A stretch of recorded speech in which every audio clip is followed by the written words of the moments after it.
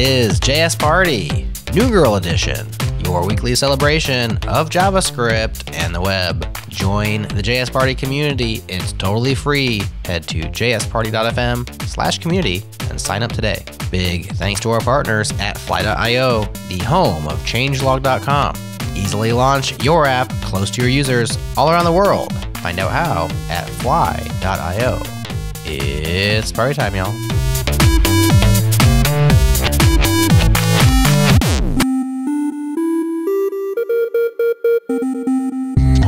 What's up, friends? This episode of JS Party is brought to you by our friends over at Vercel, and I'm here with Lee Robinson, VP of Product. Lee, I know you know the tagline for Vercel, develop, preview, ship, which has been perfect, but now there's more after the ship process. You have to worry about security, observability, and other parts of just running an application in production. What's the story there? What's beyond shipping for Vercel? Yeah, you know, when I'm building my side projects or when I'm building my personal site, it often looks like develop preview ship. You know, I try out some new features, I try out a new framework, I'm just hacking around with something on the weekends. Everything looks good, great. I ship it, I'm done. But as we talk to more customers, as we've grown as a company, as we've added new products, there's a lot more to the product portfolio of Vercel nowadays to help pass that experience. So when you're building larger, more complex products, and when you're working with larger teams, you want to have more features, more functionality. So tangibly, what that means is features like our Vercel Firewall product to help you be safe and to have that layer of security. Features like our logging and observability tools so you can understand and observe your application in production, understand if there's errors, understand if things are running smoothly, and get alerted on those. And also then really an expansion of our integration suite as well too, because you might already be using a tool like a Datadog, or you might already be using a tool at the end of this software development lifecycle that you want to integrate with to continue to scale and secure and observe your application. And we try to fit into to those as well too. So we've kind of continued to bolster and improve the last mile of delivery. Uh, that sounds amazing. So who's using the Vercel platform like that? Can you share some names? Yeah, I'm I'm thrilled that we have some amazing customers like Under Armour, Nintendo, Washington Post, Zapier, who use Vercel's frontend cloud to not only help scale their infrastructure, scale their business and their product, but then also enable their team of many developers to be able to iterate on their products really quickly and take their ideas and build the next great thing. Very cool. With zero configuration for over 35 frameworks, Vercel's front-end cloud makes it easy for any team to deploy their apps. Today, you can get started with a 14-day free trial of Vercel Pro or get a customized enterprise demo from their team. Visit vercel.com slash changelogpod to get started. That's V-E-R-C-E-L dot com slash changelogpod.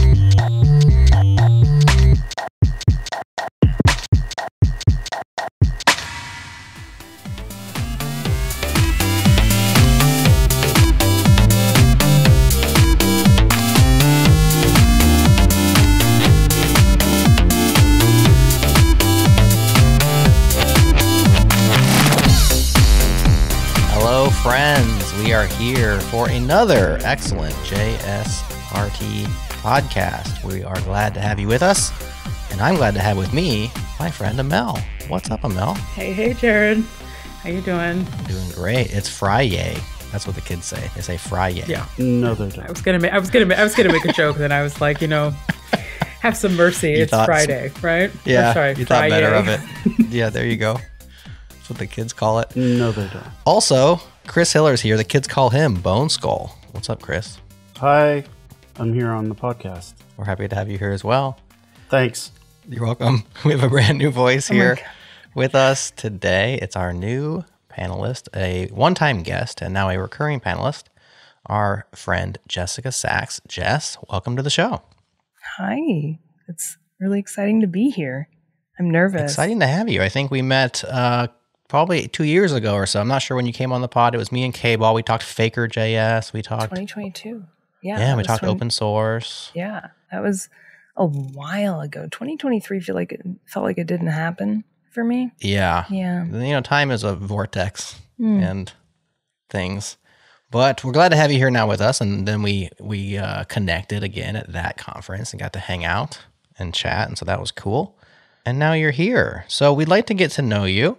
Let our audience get to know you a little bit. We're going to get into the news today. We're going to discuss some goings on. It will be a segment show, but we thought we'd start off with getting to know Jess by playing a little game of 20 questions.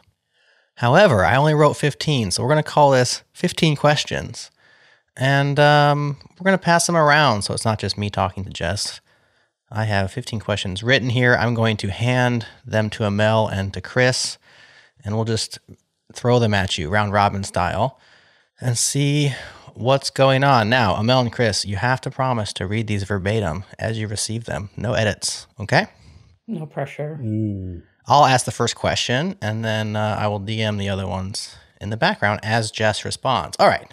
Number one, tell us about a time when you shipped a bug to production. I think it probably this is a boring one. Well, there was one time where I broke Expedia, and I didn't work at Expedia. Um, That's a twist. Yeah. So I noticed it because we I, I did build Canary deploys. I was working at an ad tech company and we were a third party script and they found they put us in top window.top. And so we had access to the entirety of Expedia and all user data on the search page. And so when you would type in like San Francisco to JFK, our ads would run. And so my code ran on millions and millions of page loads and that gave us a lot of volume. And on IE whatever, I broke Expedia by like messing up some CSS. And I think also the back button. I think like they had just switched routers and the back button, like we we messed it up. So that was bad. We reverted within five minutes. Oh, not bad. So yeah. I think breaking the back button is kind of a time honored tradition amongst web devs, right? Like we've all done it. And we Someone else's someone else's back button though. True. That does make it a little like that ups the ante a little bit, doesn't it? I mean, I say shame on them for giving you so much privilege. You know, millions of dollars. The tech team did not like us. It was constant, like constant questions about like every kilobyte of gzipped file we would send. They'd be like, there was this one guy, Chad or something. it's always a Chad. It's not. I don't think it's his real name, but he he had like he built like a monitoring script on our JavaScript bundle sizes 2014, 15, and if it went up, like we heard about it. I'd say I'd say good hygiene there, Expedia. So you get points for like being conscientious about your third party scripts, but you definitely get way more points deducted for like giving them way too much privilege. Money, But yeah, money will make people do crazy things. that's true. All right, Amal, your turn. Got a question for Jess? Oh yeah. So what's a web development myth you de- you'd like to debunk once and for all? iframes make your page really slow. They don't necessarily make your page really slow. It's what you put in the iframes. yeah, yeah, that's true. it's what you put in the iframes that makes your page really slow. That's an interesting distinction. I like that. a very a, a, a universal one almost, right? It's like it's a universal. Yeah. it just happens that the stuff you put in your iframes is all ads. All right, Chris, here comes your question. There you go. Tell Nick Nisi why TypeScript sucks. Um, TypeScript sucks for app developers because you have to work around the type system, and it's really great for library authors. Spit and truth. You hear that, Nick? All right, next question. Number four. You have to pick a front end framework. You cannot pick Vue. Solid Oh, you didn't even let me finish. That was fast. Okay, why? because it's it's reactivity first framework. Um, that's it. Period. Finished. Okay. And I don't care. Okay, and I and I'm not married to meta frameworks. If I had to pick a meta framework, I don't know what I'd do. Uh, that wasn't Nuxt because Nuxt is de facto the best right now. I want to double click into that. Like, why why is Nuxt de facto the best meta framework? Bro, if I showed you the if I showed you the DX right now, you would be floored. I just I just showed my manager for like 45 minutes all of the dev tools. It is you can see API routes. They built freaking Postman into the dev tools. It has end-to-end type safety, all of the SSR edge stuff on Vercel, same stuff. It's insane. Is that like on the uh, nightly builds or is that like shipped, like production? Prod prod, npm install, Okay. pnpm install or bun install. Okay. All right, Amal, your turn. Ah, really, Jared? Just read the question. Who's your favorite JS Party panelist and why is it Jared? That's a good because one. he because of how red his face gets. when I'm happy. oh my god. yeah, Good answer. we share that. I I get progressively redder. Do you have do you have a sunburn right now? Me? Yeah, yeah, No, I'm just naturally flush. It's my it's my youthful exuberance. yeah. I like later on in the episode, you'll start to see my like my like collarbone. I'll start to get Mm. like red here and here. Yeah. That's a sign of good health, I think. All right, Chris, your question. You've been debugging for hours and you cannot figure out the problem. What's your next move? Phone a friend. That's not even hours. I just I just ask Who do you ask? whoever's problem it is. What if it's your problem? Um, ask a friend, like someone else on my team. Okay. Like, yeah, if it's if it's my problem by myself, I'll just go to the docs eventually. But generally, I'm going to ask a person because I'm doing something really stupid or easy incorrectly. Yeah. That's a good answer. How long would you wait? You wouldn't wait an hour, obviously. Depends. Thir- 30, 30 minutes, maybe You just have lots of friends. thirty friends. to forty five minutes. yeah. yeah. The good thing the good thing about the Vue community is that they're very global. And then I also have friends on the West Coast. So open source has given me a lot of time zones to make friends in. Yeah, that's nice. I also just want to say, um, I mean, I think this is like an age old thing, but like, you know, women are much better at asking for help than men. like, period. how rude. How true, but how rude. you guys will just sit and wallow in your indirection for hours, you know, whether it's getting lost or, you know, wh- whatever it is. Like this applies Right. to so many things, you know. The reason I do it is because I actually learn when I talk to somebody. I can't learn unless it's conversational. Usually, ChatGPT has been really helpful in this because I just tell it to be really profane and like short and concise, and then it treats me like I don't know, like Ken Wheeler might treat me, just like straight up bro talk. And I'm like, yeah. And I was like, why do I even care? And it'll be like, here's why. so it may replace by emulation, you know, a few of your friends over time. I think that's true. All of the things you like with none of the problems. You know, that's the problem with people is we have baggage that we bring to relationships. But Yeah, I have to the care. GPTs, they're just there for you. Yeah, exactly. I don't have to care about ChatGPT. They'll give, give, give, and they'll never take. All right. Question number seven. Is it my turn? I think it is. If you weren't working in tech, what would you be doing? I wanted to be an anesthesiologist when I grew up, like specifically an anesthesiologist. Okay. It was a weird thing for an eight year old to say, but yeah, I was like. I don't think I even knew what anesthesia was when I was eight. So it's impressive. I Yeah. How Don't you- think I did either. it was just the number one paying job in the little software Oh. program that they had Oh, us load. Yeah. Yeah, I definitely remember doing that when we were in school and they like had all these different career paths and you just basically sorted by most money and you're like, I guess I'll just do that one. My mom was really upset when I told her I was going into software. She was like, that that doesn't make money. Wow. She's no prophet, is she? No, she she understands now. She's like, oh, it made money. all right, Amal, your turn. All right. Where is your favorite place to code that's not your room or office? I code from the couch, or yeah, I code from the couch, or um, is there anywhere else? Yeah, room. WeWork. I would consider WeWork not my office because I don't go there at office hours. Like I go there at like 12 a.m. after I go to a bar. W- Oh yeah, 12 a.m. WeWork. You know, it's so funny. I, I think I used to do something very similar uh, in the sense that like some of the best views in the city were at some of the co-working spaces that I had access to like a very very long time ago. Um, and yeah, we'd just like get food, we'd get takeout and like eat and like watch TV in like a conference room or whatever. And like it's just like really, Yeah. it's like a city apartment that's not a city apartment, you know.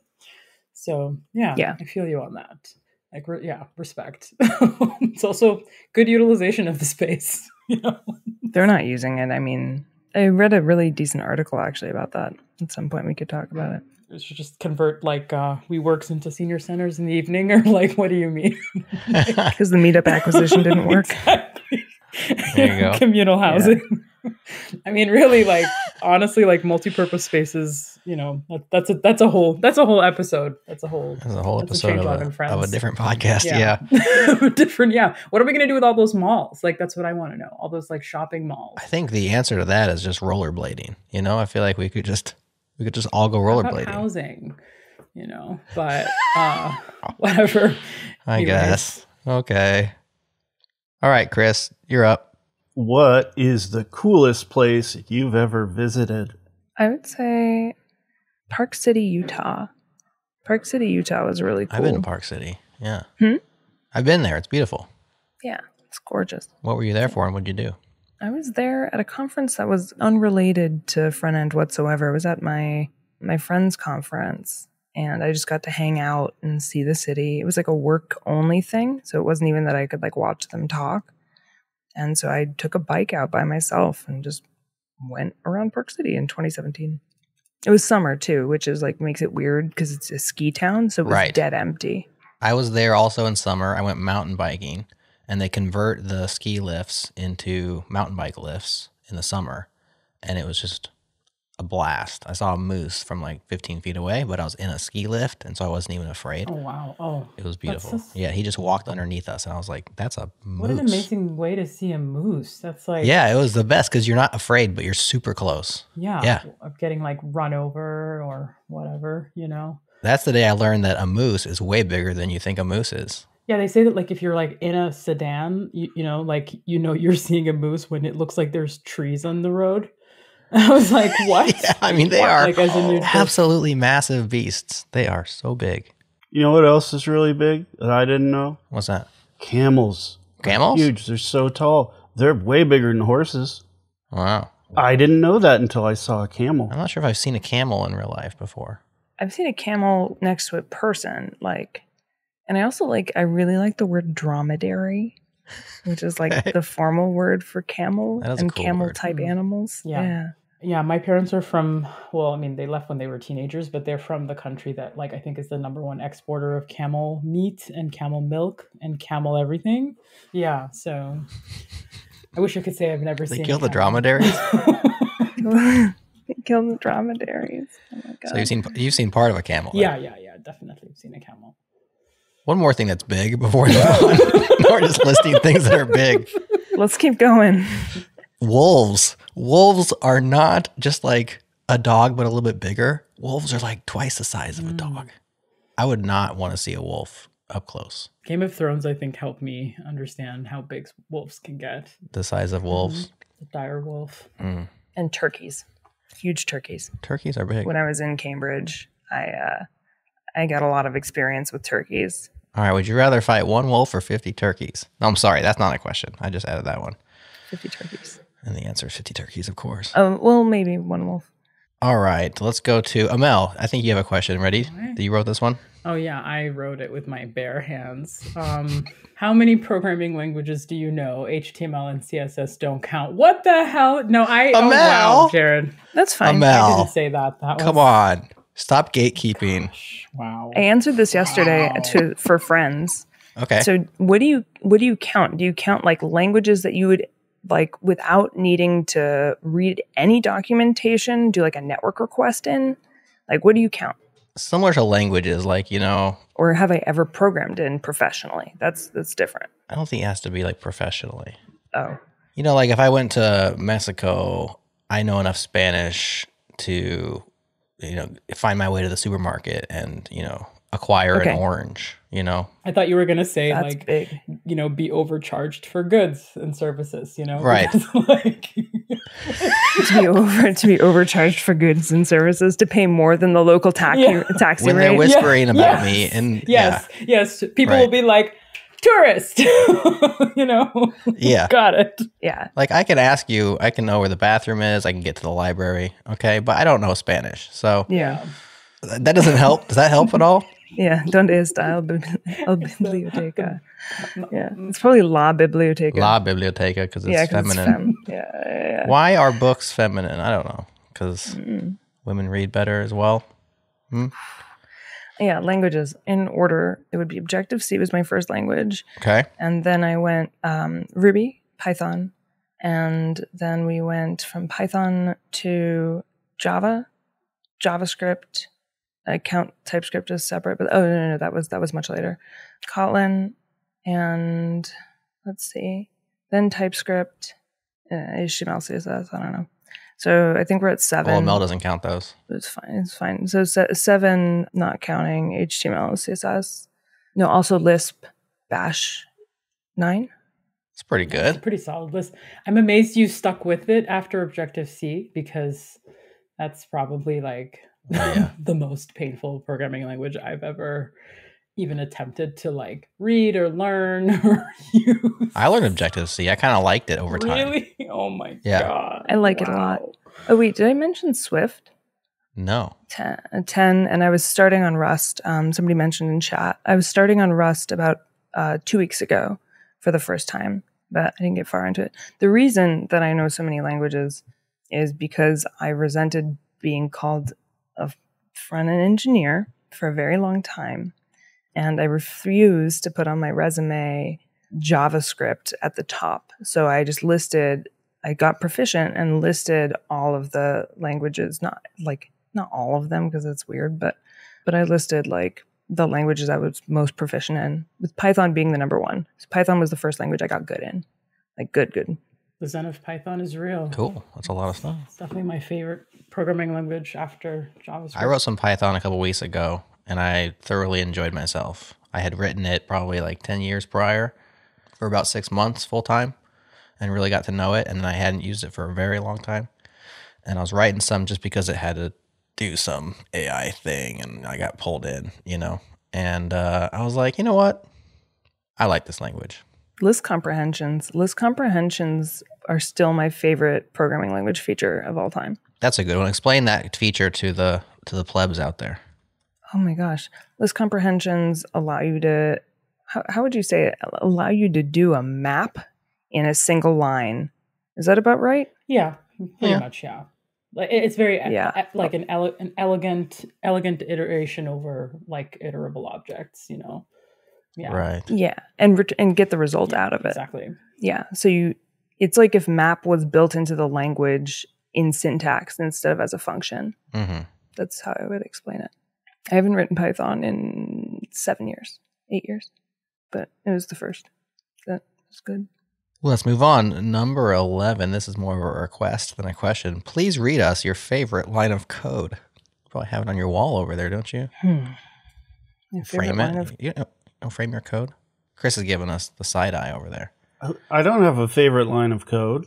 Am I supposed to have that? Do you have that? Do you have a favorite movie? Do you have a favorite song? Do you have a favorite line of code? No. No. Okay. All right. Well, good thing these are Jessica's questions and not yours. uh, console.table.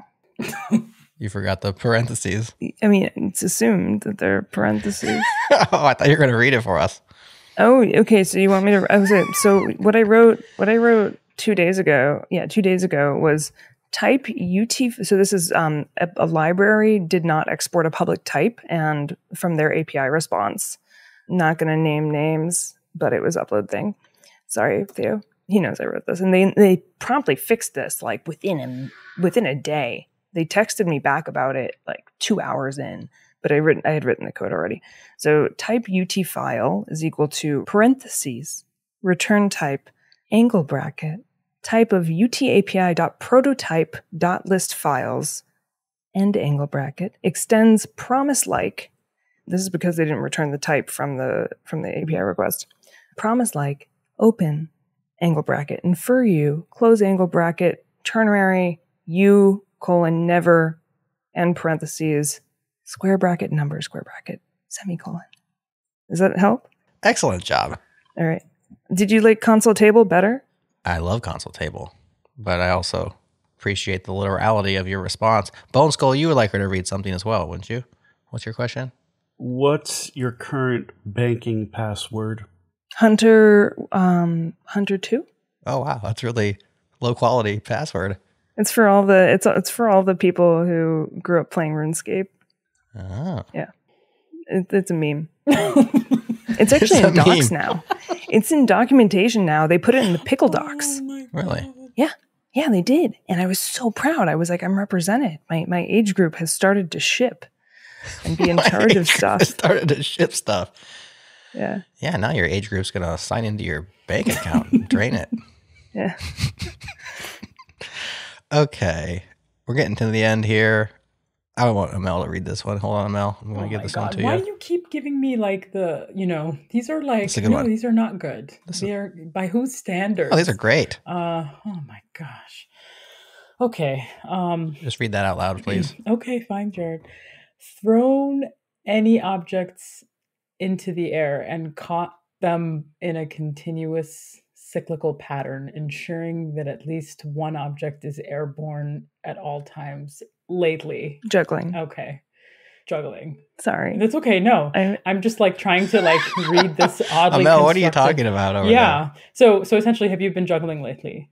Is- yes, I've been I've been juggling lately. Tell us about this. Are you like a circus nerd too? Because you know, it's like definitely like there's this in, a fun intersection of like tech nerds that are also circus nerds, and I find them to be utterly like the most delightful people. So Yeah, the Venn diagram's good. Yeah, circusy stuff. I did contortion. So I did rhythmic gymnastics growing up, uh, which is really good if you're hypermobile. So I can still do over splits, even though I don't train them anymore. So my legs go like over 180 degrees. They just do. And then my back still, you know, feet touch head. But then I had a back injury, totally unrelated to contortion and I couldn't do the exciting like dynamic circus arts anymore. I couldn't do trapeze. I have a trapeze, and I couldn't do lyra. So I was like, what can I do that's weird and circusy? And I was like, I can stand straight and throw balls and make small movements with my core. So that's why juggling. What's lira? Lyra is the metal hoop thingy. Ah. yeah, I, I hear like people that are really flexible can like over injure themselves sometimes, like because they're like, oh, I can do this, and then like their like tendons are like, oh no, maybe you shouldn't do this too much or too long, Oh, you know. So It was a it was a kettlebell lift. It was a kettlebell lift in front of a personal trainer. Um, yeah, it was it was like super tragic. I was 24. It was uh 20 December 2019. I. Wow. Well, I'm sorry to hear that, but I'm glad you've discovered It's juggling. okay. That sounds really fun. And there's just so much math involved in juggling for me. That's just the part that I find fun. Like the math and physics of it all. Yeah, I want to build a syntax uh, parser for. There's a language called uh, site site script. Am I getting that right? Site script? Site swap. Site swap? Site I do swap. Not. I do not know. Yeah, um, I always mess up the word for it. There's a language that like lets you describe how many balls are in the air at a given moment and at what times and what hands they're going to. So you can throw the same ball to the same hand, or you could throw one ball to the other hand, or you could throw a ball high. And there's actually a mathematical language with parentheses and brackets and stuff and repeats that allows you to describe the math of juggling and throwing things and catching them in different times. And I want to write a little syntax parser for that. Yeah, that'd be cool. I that's like I feel like that's like the nerdiest thing I've learned all year. So thank you for enlightening me. Yeah. So thank you. Yeah. I just figured you just throw stuff up and catch it, you know? I didn't really think there'd be much more to it than that, although it does get increasingly. I can juggle three just fine. Uh, generally, same size balls, tennis balls. Balls. Yeah. But yeah, I've never really gone beyond that. I've tried four.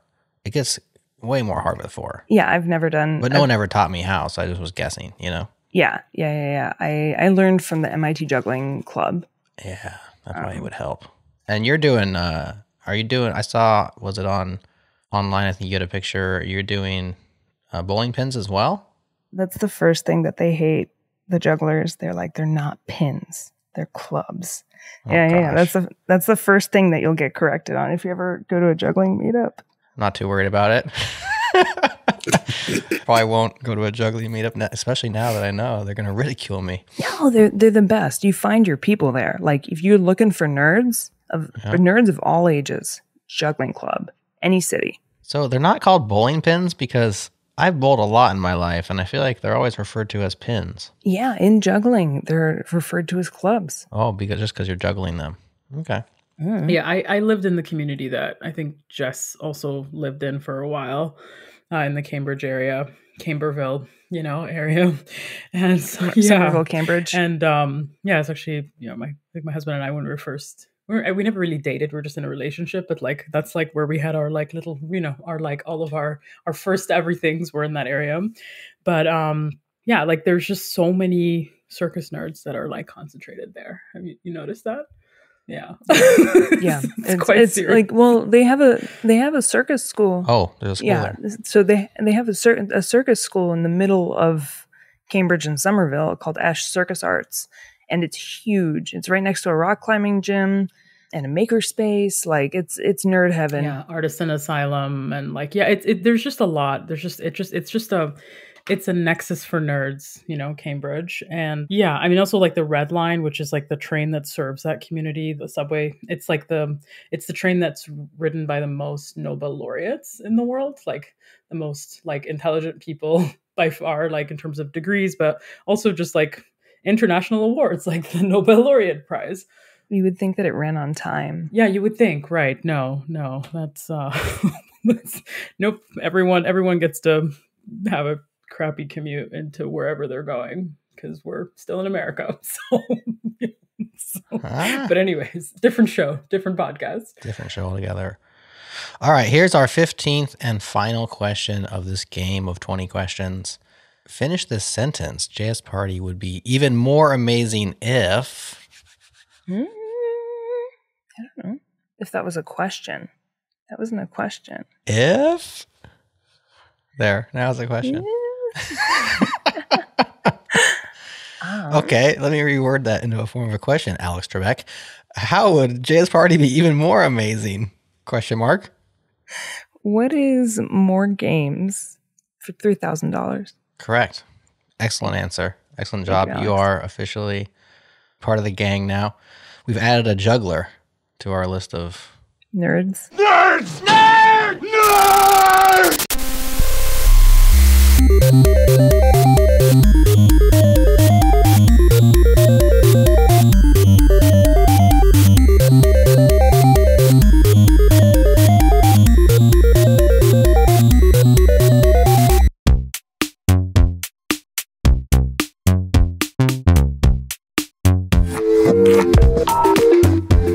Up, friends? I'm here with Conrad Hofmeyr from PowerSync. PowerSync is the sync layer that enables an offline first architecture to make your application real time and reactive. Conrad, why is offline first, local first a big deal right now for developers? We're really excited about local first as a movement, and we think it's going to become the default architecture for a very large number of apps that are going to be built going forward, just because it has really big benefits for both developers and end users. So, taking a step back, just looking at what local first is. So, it's an architecture where your app code works directly with a client side embedded database, which then automatically syncs with a backend database in the background. That's compared to cloud first apps where they mostly use a cloud data store via APIs. That has some really big benefits for developers and end users having a local database and syncing with the cloud in the background. The biggest benefit for end users is that everything in the app feels instant because the app is working with a local database and you don't have to do round trips to the cloud. There's no loading spinners. Everything can just load instantly. It also means that the apps can be always available for the most part, regardless of connection. So even if the user goes offline, the app is always available. So like you said, you know, if you have a momentary lapse in connectivity, if you're driving through a tunnel or if you're on the subway or if you're out in a rural area,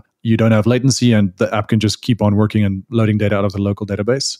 So, this move to an offline first architecture, what are the biggest benefits for developers? The biggest benefit for developers is that it really simplifies state management. So, state management is a headache for most apps. Developers typically work with some kind of state management library or framework. There's a lot of kind of finicky aspects to it. But with local first, the global state is simply stored in the local database, like a SQLite database. And that really simplifies the app code. It keeps your logic really simple and functional because your UI basically just reflects the content of the database. So it just makes everything a lot simpler. And then there's other benefits for developers too. Since you're working with data and logic locally, your backend becomes simpler. You have to do less API development on the backend. You can shift a lot of stuff to the front end, a lot of working with the data, manipulating the data and, and logic. Uh, and they also reduce your backend compute load and compute cost and your dependency on the backend in general. So it kind of takes the backend API off the critical path for the user using the application. I like it. Very cool. What what's your goal with PowerSync?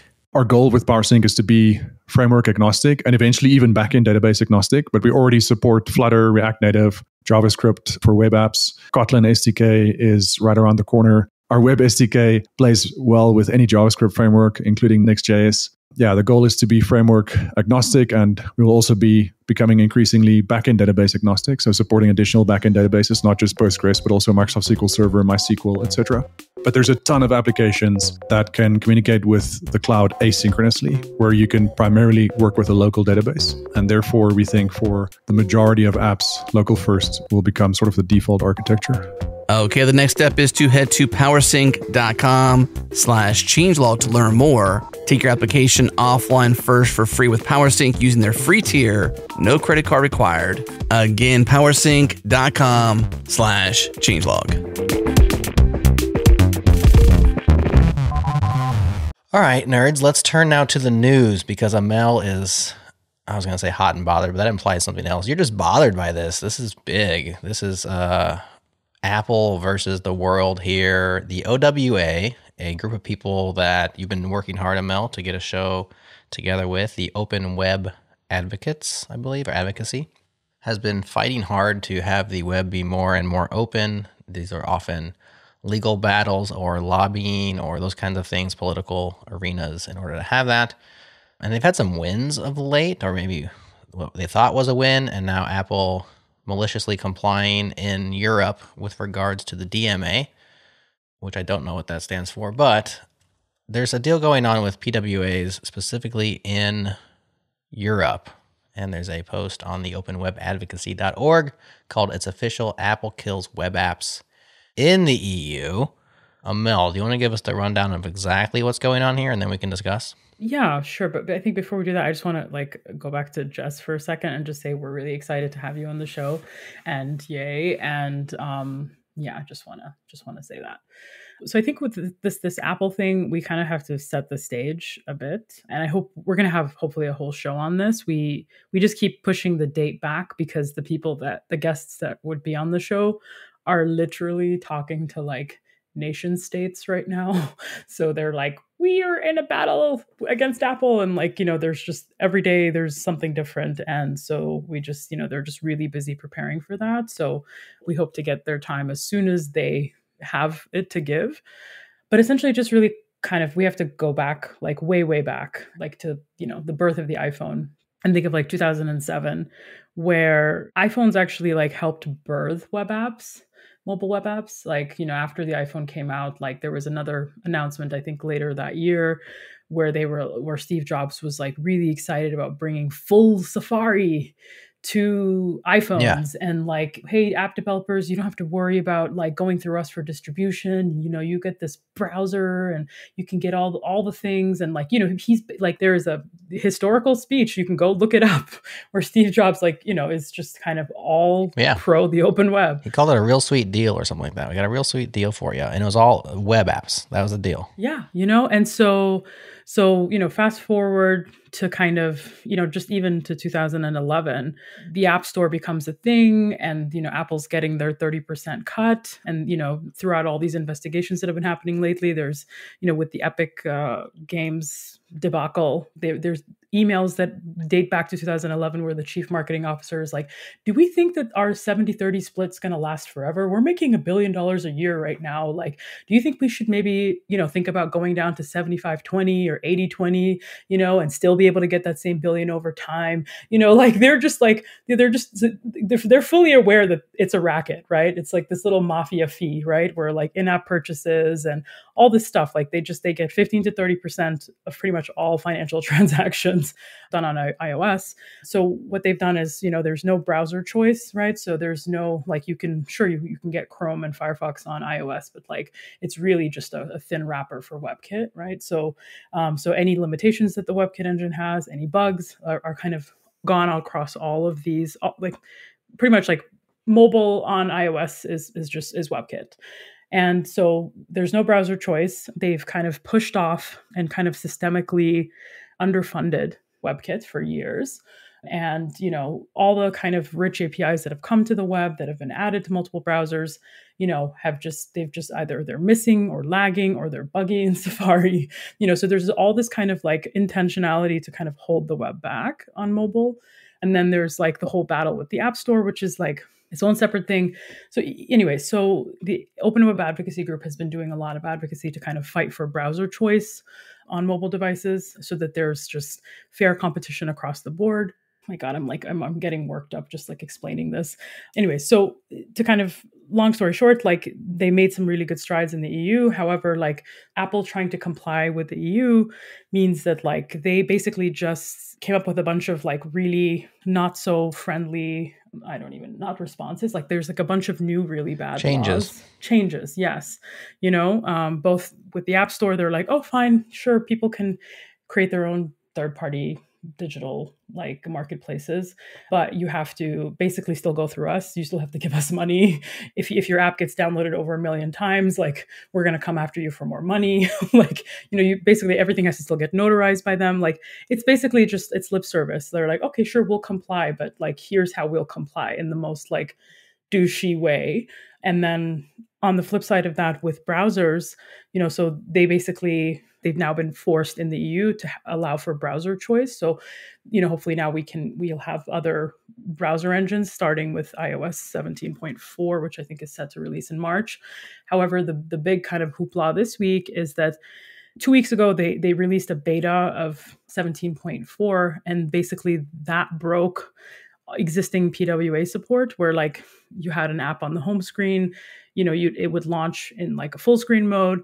Now that same app is basically just like a bookmark. It's like just a regular browser uh, app. It's not like a, a doesn't take advantage of all the other rich apis and uh, and they came out with an excuse today where they said that oh yeah we that wasn't a bug. We intentionally broke that because of some they were hand wavy about security and a bunch of other things that really just don't make sense you know? They're like oh you know yeah we we we have to kind of protect uh, users and like if we lift that home screen thing in users would be able to see each other's data and this and that. I'm like oh really apple? Like you multi-billion dollar company you really couldn't find a way to design this in a secure like in a secure way? Like that you're just you're basically just intentionally breaking the pwa experience because you now are forced to sort of not only support it but now there's going to be other browsers that like are also going to enable this experience for users. And so, you know, so long story short, like they're just being really problematic and you know they've been silent. They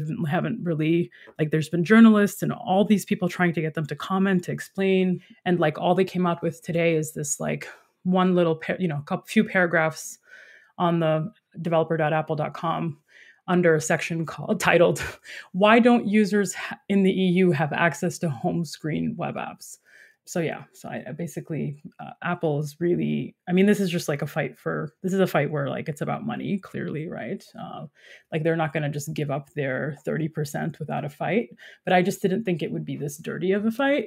Like and i just didn't think that they would consider like do they think people are stupid? Like i just i just really don't like that's i i don't i don't get that. So yeah. So anyways I, i'm i'm, I'm done talking now but yeah so. I mean a lot of those points hit especially with developers, I think, right? So developers, we're very aware of what could be and what could exist. Like what what's that future meme? It's like the world if you know so and so happened. I think there was actually literally one about Apple and PWAs. I, Somebody posted that on Twitter. It's like the world if Apple actually allowed PWAs. We think about that. I don't think my mom does. And my mom doesn't know that, you know, Apple's taking a 30% cut of all the downloads when she plays solitaire. And so the capitalism just kind of like flies under the radar. And they're going to do what's in their best interest, like money first over a lot of stuff. And that's kind of, I don't know. I think that's the way of the world, which is toxic to people who are paying attention like us. We could create something better if we were in a position of an apple, right? We could have chosen differently. And so that bothers us a lot. That's that's what gets us like bothered is we know.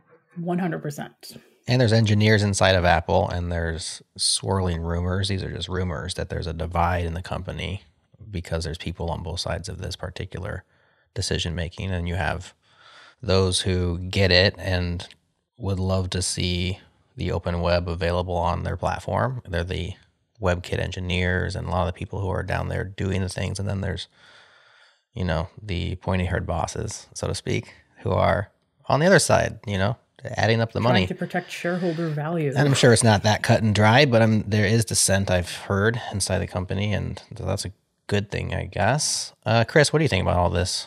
Yeah, I mean, I'm I'm with Jess. I mean, n- nobody except developers knows or cares about this stuff, honestly, and it's uh, it it's just one of those things. It's too bad, but Apple's counting on that, and so you know uh, they OWA has a steep hill to climb. I think to get the attention of you know lawmakers and whatnot. The regulators are paying attention though. I mean, like they've what they've been able to bring to the table so far. So this uh what is it? DMA? The Yeah, DMA. the DMA, yeah. So Digital Markets Act, right? So that's that's kind of what's been put forth that's made Apple have to kind of comply, right? Like they are listening, people are paying attention. Like I I agree with both of you. It's it's really a shame that like this isn't something everyone knows about. Um, in theory, they shouldn't have to, right?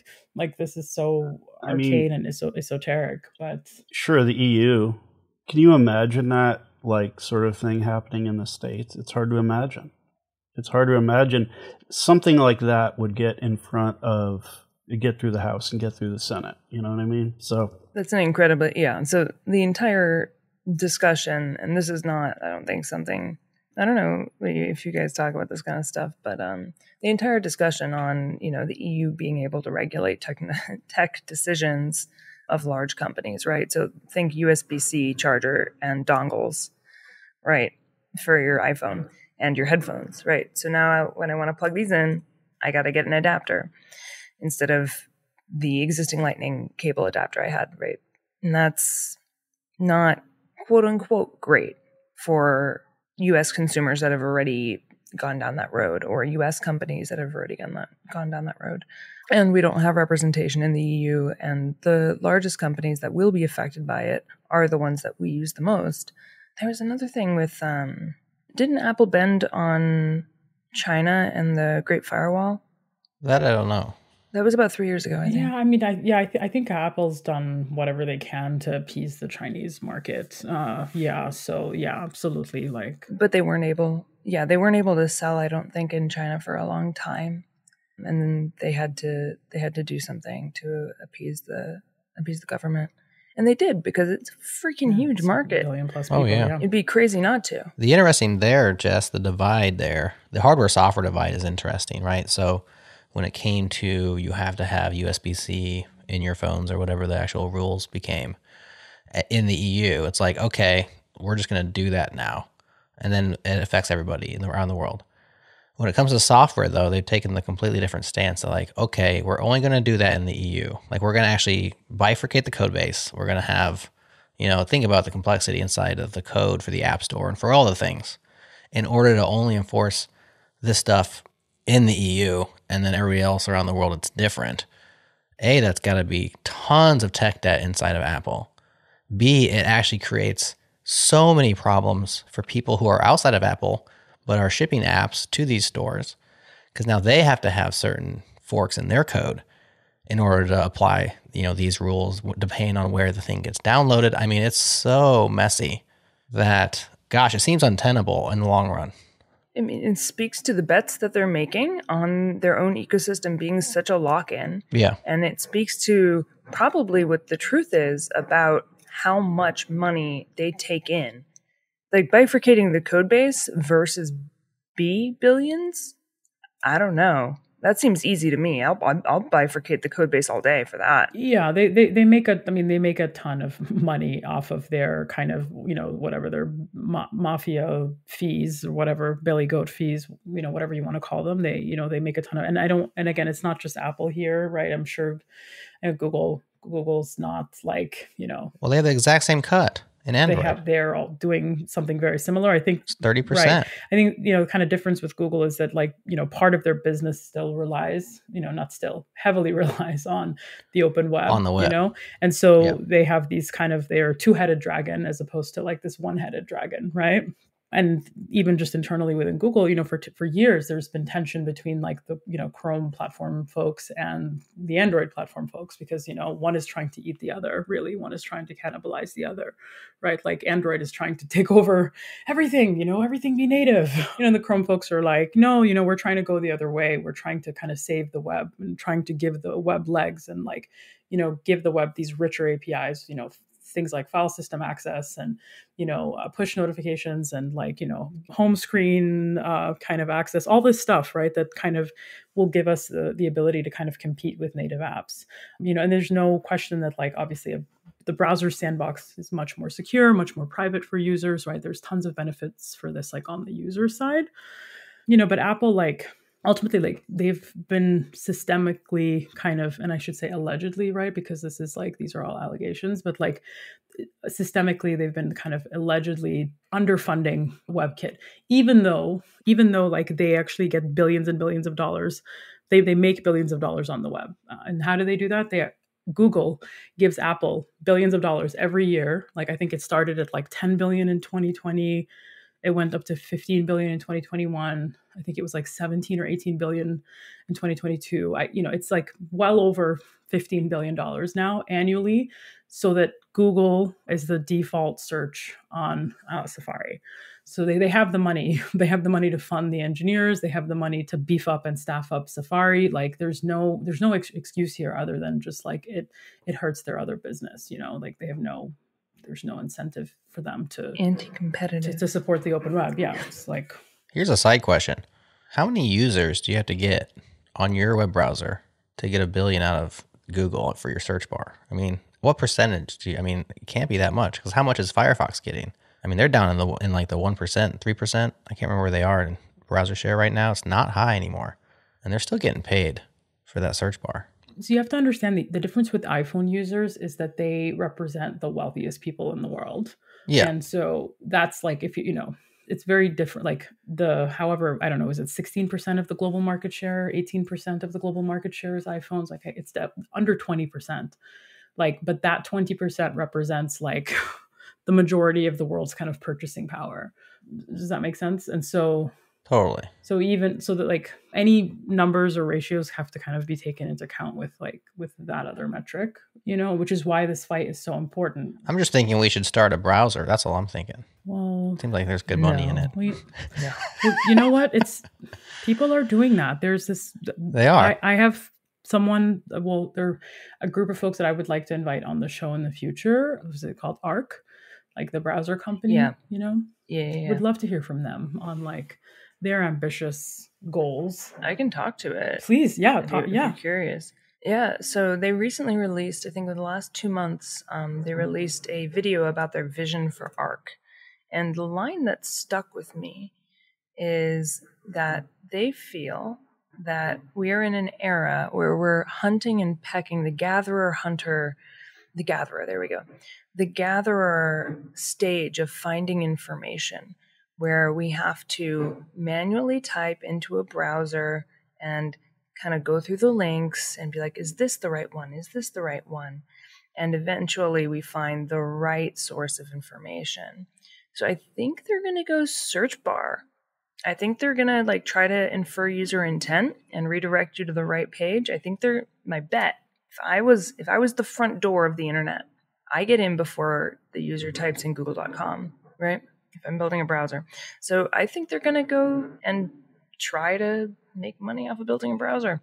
They said that we'll look back at this time period and be like, wow, how primitive. The way kind of we look at books and the indices inside of the back of a book.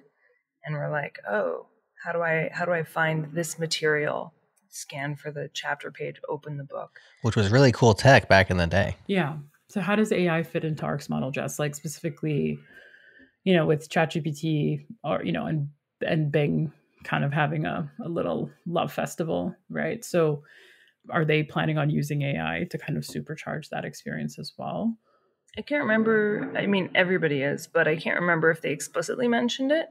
The one thing ARC does really well is UX and frequent releases and the publicity of those releases and the features that they've added. So they have release notes every single week on Thursdays is their release week. and it'll show up in my sidebar. It'll be like release. It's a really cool browser. Try it out. It's a different way of organizing stuff. I no longer have tabs at the top of my screen or a URL bar. The URL bar is my favorite part. It's useless. it's useless. I've never felt more obsolete than right now. My favorite part's useless. I have an entire rant on why URLs are actually a construct that we've made because we have to use text specifically to send information like over over the wire Okay. versus something like airdrop airdrop has no urls True. I definitely want to hear that rant. Save that for a upcoming rant episode. Maybe we do some unpopular opinions. You can uh or some hot takes or something. rant rant hour. nobody agreed with me by the way when i gave that hot take on a twitter space Um, I mean, I, I see your point. I think it's just we just I just need like we need a better protocol. I agree that protocol's outdated, but like like for me, it's like show me what's the replacement, right? Like yeah oh yeah this is this is 15 20 years out hopefully not that long, but but, but yeah, I agree. It might it might be that long. I mean, yeah, for it to become a standard, let's say forty. You know, Right. All we need, that's what we need is one more standard. Well, the blog post right now, this is a moving target. So as we record February 16th, as you listen seven days later, it'll be like 10 days left. They have a survey that they want you to fill in if you are somebody who ships a web app in the EU. They think that that will help. I don't know what the OWA's next move is here, if they even have one, but iOS 17.4 ships uh, 19 days from now, according to this, and they have a Digital Markets Act countdown on the website. So we will link to that in the show notes. And then stay tuned for a full episode with the people who are the movers and shakers on the OWA side as Amal's trying to put that one mm-hmm. together. I'm definitely excited about that. Yeah, I was literally just chatting with Bruce this morning, Bruce Lawson, who's one of the folks, and he I asked him, "Okay, what can I do to help?" He's like, "I'm going to read read his response to you. You could encourage anyone who operates a PWA in the EU. They could be a US company with EU customers or an EU company to fill the survey at the top of our blog post. So, thank you Al, uh, thank you Jared. Yes. And he said, This will give us evidence to take to the European Commission. And doing it this weekend would be great. You know, doing it as soon as possible basically would be great. And you don't need to, he said that they don't need to give their names. It would be nice if they do, but you, it can be anonymous. Uh, we'll collate it and submit it to the right people. So, so yeah, they're collecting that, collecting data. Yeah. All right, we have two other links that I gathered for this, but we've spent plenty of time talking about that. We have is anybody excited to talk about either of the following two topics? Topic 1, LLRT, Amazon's new low latency JavaScript runtime. That's one. And then two is a new library called Tempo, a new date library for JavaScript and TypeScript. Anybody excited to talk about either of those? Happy to talk about either. Happy to just call it a show. What are y'all thinking? What are y'all feeling? I'm excited about the LLRT thing, but I don't know if anyone else is. I didn't dig deep into it, so I don't have much to say except for we have another runtime. yeah. That's all I have to say about that. Well, All I have to say about that is like Amazon needs to f- contribute and fund Node.js and Hmm. um, support the ecosystem Instead of doing this work. support the ecosystem that everyone else uses. Yes, instead of just like rolling their own. Specifically, when Lambda basically is so heavily dependent on Node, and essentially this is kind of a a clone of Node. You know, so like fix the performance and runtime issues in Node core as opposed to reinventing your own wheel. But whatever, capitalism. So as I understand, they pulled in something called QuickJS. I don't know what QuickJS is though. It sounds like it's if LLRT is to Node as V8 is to QuickJS or something like that. I don't know what QuickJS is. I- I'm interested in that. Yeah, QuickJS, they say, is the JavaScript engine. The point of this particular low latency runtime, if it's not uh, obvious by the name, is they're trying to specifically optimize for fast and efficient serverless applications. So boot time is really what they're optimizing for, which makes sense because of Lambda and all of the serverless things that they offer. I haven't heard of QuickJS either. I'd be interested in that. Maybe we could do a deep dive with some folks if that's like an open source thing that they're working on or that they've just pulled in from a different group. But yes, we have one more of these. It seems like it's been the not the year of, but maybe like the couple years of proliferating JS runtimes. And there's pros and cons to that. I mean, Mel, obviously, you are thinking let's all contribute to Node.js. Other people are thinking, you know, different techniques, different approaches, worth perhaps reinvention, worth competition. I don't know. I kind of flip flop on on that myself. Yeah, I mean, I, I, think for me, just relying on a new engine as well. Like someone who's worked on with JavaScript engines very closely in the past, specifically when it comes to like bugs and interoperability, like you know there's a whole matrix of bugs that you're now potentially introducing like how how spec compliant is this you know? And like are these being run against the same tests that all of the other engines are being run against? And like it's a lot of work to have a spec compliant javascript engine. So i'm very curious to to see how spec compliant like quick is because obviously like if and what that means to developers if something is not spec compliant is that like you think fetch is doing something or you think a map is doing something and it's it's doing something different, right? Um, I can talk a little bit about the development of Bun if you're interested. Sure, yeah. I had the pleasure of uh, listening to Jarred Sumner talk a lot um, over the last year. Um, I did his interview on on his Twitter space on Bun 1.0, and they took a lot of the tests actually, specifically from Node. So like they just read the tests and tried to comply with them. And so that was really interesting to hear. I was like, that's really smart. The second thing is that if you're a runtime and a company, what's your end game? Why do you want to be a company that builds a runtime? Why would investors invest in you? What's the end game plan for for Bun's parent company, Oven, right? Which is currently only Bun. But what end game, if you were a founder, what would you do? Yeah, I mean, I'm, I, my guess is there's you know some compute like cloud hosting thing that they're gonna uh, you know try to hopefully leverage to fund the open source. I hope so. ultimately, like you know, the best thing for the community is for there to be some path towards sustainability for Bun. So you know, I really hope that like they find that because otherwise that would really suck, right?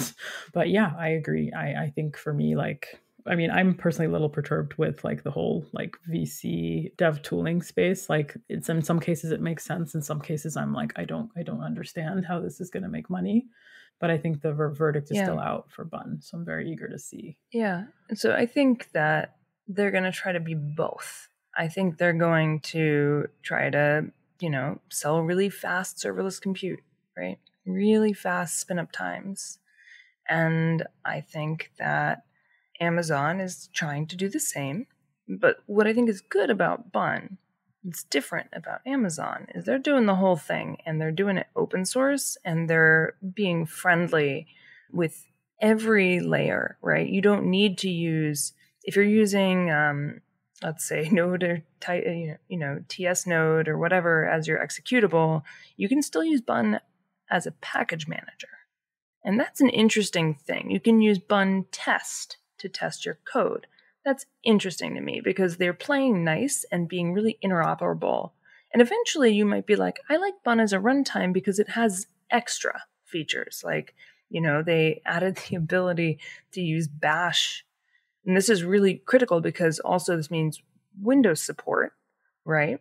Bash scripts that have Windows support. I don't know how many times you guys have done uh, npm install rimraf as a node package so that you can support Windows RMRF in your in your development environments. But like, there's interesting things happening at, at in the bun in the bun time. It needs to be called the bun time. I'm I'm over it. I'm over it being the bun runtime. So many people are on board with me that it's the bun time. Jared won't do it. I don't care. Every platform I'm on, I'm going to call it the bun time. So the bun time is doing some really interesting things that are extra. You know, like built built-in server built-in ability to to serve web apps. Yeah, I mean, it's super cool. It's it's what I think the community also just generally needs. Like there needs to be like without competition, it breeds stagnation, right? So like I'll think everything is going to get better because somebody threw the goalpost a little further this time. So that's great. And I think for me the difference with the Bun and this new runtime LLRT is that like Bun was strategic enough to use a very battle tested JavaScript engine, which is JavaScript core. Uh, ironically, the same. It's a, the WebKit engine. And so, I, what is Quick? Like, I've never even heard of Quick. Like, you know, like I'm so like I, I just I don't know how battle tested that is. So I, I I'd be curious to to see like how well supported the the JavaScript like JavaScript is, or is it is it like limited JavaScript? Like I don't even know, right? QuickJS is a small and embeddable JavaScript engine. It supports the ES 2023 spec, including modules, asynchronous generators, proxies, and BigInt. It has had two releases, one in December and one in January of this year. So it's brand new. I haven't been able to figure out who's developing it. Does it sound like it's targeted to microcontrollers or? Main the main features are small and easily embeddable. Just a few C files, no external dependency. X86 code for a simple Hello World program. Hard to say, but it seems like that because yes, because easily embeddable is a point. Bellard.org. Is this the guy? Fabrice Bellard. Oh, this is Fabrice Bellard. He's built tons of awesome stuff. Yeah, he's supposed to be. Good. Yeah, he's the author of uh, lots of stuff that I can't think of right now. QEMU, FFmpeg. That's the big one. FFmpeg. Yeah, so the open question is how spec compliant? Like, can you take your existing legacy JavaScript and just plop it and it'll work 100% as expected or are there gotchas right like are there are there certain parts of the spec that are not supported because they're starting at the in 2023 Right. you know so I, I don't know these are all like questions i would love to have answers to For, for Bun, the answer is no, it's not. You said javascript You said building on the existing JavaScript engine, right? Yeah, so uh, Bun uses JavaScript Core, like JSC, which um, that's like the Bun equivalent of V8, where like um, so Node doesn't like Node uses a JavaScript engine to like parse JavaScript and like like it doesn't it doesn't build its own engine and s- in the same same way Bun didn't build its own like JavaScript engine. It uses JavaScript Core. So JavaScript Core is maintained primarily at Apple. Um, Mhm. V8's pr- maintained by Google. Wait, wait, wait. N- I don't think that's correct, but I want to be. I, I want to be like fact checked on this. What I do know is correct is it doesn't even use libuv. Like they wrote their own. They wrote their own OS specific bindings. Yeah, that's so libuv is like a node dependency, and so that's the difference. So that's where like there's like it's like kind of like a, a series of shells, right? Like in layers. So like the JavaScript engine is like the first layer, and then there's other layers built on top of that that are node dependencies or node specific, and so that's the kind of delta, right? So like Bun has a JavaScript engine because it would it's way too much work to create a new one, and then on top of that they have their own uh, like zig layers and you know th- their zig layers are going to be different than nodes uh, C layer. yeah there's a bunch of things in node that are like either th- third party dependencies or node specific code you know that kind of create that create the api surface so i don't know if i'm making sense jess but like You- You're, you're, you're doing fine. You're doing That's fine. correct. I did. I fact checked. Amal uh, JavaScript Core is the engine inside of Bun, Thank you. and QuickJS is the engine inside of Amazon's new thing. QuickJS is brand new and written by one guy, even though he's very talented. My guess is it says it supports ES 2023, so there's probably no backwards compatibility with like old stuff, but definitely an interesting project. yeah you, we'd, we'd, you'd have to run the test 262 conformance te- suite with it with quickjs and then we'd have an answer for like how good is this thing like it, it could be perfect you know like who knows it's just Yeah. yeah says right here it passes nearly 100% of the ECMAScript test suite tests when selecting the ES 2023 features. yeah so that's what it is So- select subset of features Yeah. Mhm. Which makes sense when you have a very specific thing you're trying to do, which exactly Amazon's trying to create this engine that is really, really good at booting fast because that's a problem with serverless runtimes is the, uh, what do you call it, cold start times. And everyone's trying to work that out, but that's a trade off. Even inside of their own README, they state that there are limitations. There are many cases, they say, where LLRT shows notable performance drawbacks compared with JIT powered runtimes, such as large data processing, uh, Monte Carlo simulations, or performing tasks with hundreds of thousands or millions of iterations. So it's a trade off, as all engineering is. And so, you know, I like the fact that there are now going to be different runtimes with different trade offs depending on your particular use case. Like Chris alluded to, like if you're really trying to get it onto uh, microcontrollers or really small places, that's a trade off you're willing to take in order to not have 100% coverage of the entire language, that kind of stuff. So I think uh, diversity in that case, I think is is cool. And um, I don't know what how this plays into the whole Cloudflare, Deno. Well, my guess is there, there's probably no observability layer probably either, right? Because maybe in this use case you wouldn't need to. And that's part of also like one of the things that makes Node very different than Bun, right? Like is, you know, having that like like enterprise level observability, right? Like being able to trace and all that stuff. Like there's if there's no need here, then yeah, like strip the chassis, right? like strip it. Right. So um, that's yeah. I mean, look, I I'm all for stripping the chassis. Yeah, not only stripping the chassis, like creating these different use cases. Like I think this is great. It's just more like really, it's important to advertise the trade offs to people. It's important to like mm-hmm. explain to people like what the difference is. Like this is not your every use case runtime. You know, so as long as people know that. Right. It's 2024. There's still no silver bullets, and somebody who's trying to sell you a silver bullet either deceive themselves or trying to take advantage.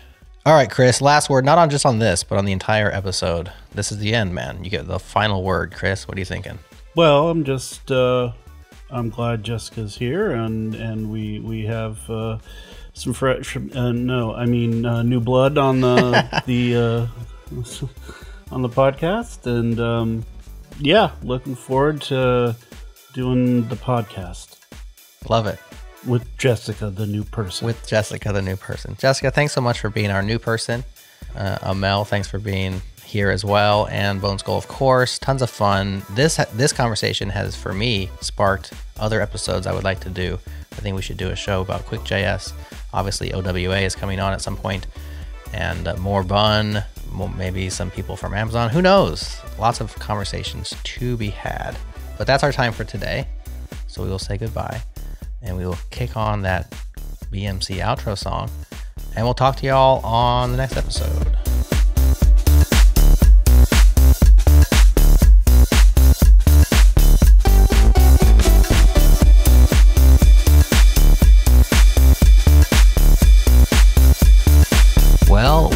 Out of time, but we didn't run out of excitement about that tempo library I brought up earlier.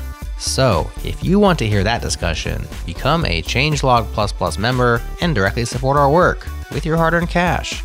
Or, even better, your employer sponsored education budget. Brilliant! As a thanks for your support, we make the ads disappear, send you some sweet, sweet JS Party stickers for your laptop, and hook you up with awesome bonuses like this extended episode. Join hundreds of your fellow JS Party listeners and subscribe today at changelog.com slash plus plus. Changelog plus plus. It's better. Thanks again to our friends at fly.io and Sentry. Use code changelog when you sign up to save 100 bucks off their team plan. Thanks also to our mysterious friend, Breakmaster Cylinder, for beat freaking for us all these years. That's all for this week, but come back. We'll be partying together again next week.